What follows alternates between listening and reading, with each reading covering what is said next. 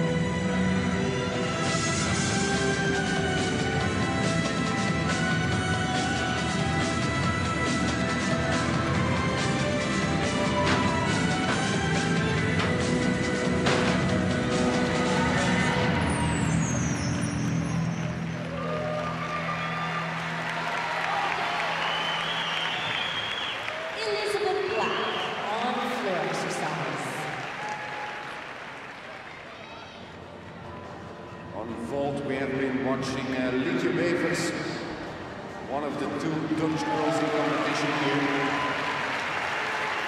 And finishing her balance beam routine, representing the People's Republic of China. Excellent triple twist dismount for Wang Yan. And that deserves a hug from the coach. Some replays of that beam routine. Wonderful display of flexibility and acrobatic A ginasta na trave deve realizar movimentos acrobáticos, mas também elementos ginásticos e de dança. Sua saída de tripla pirueta, chegada no colchão de aterrissagem. There's that triple twist. She hangs onto it really well and presents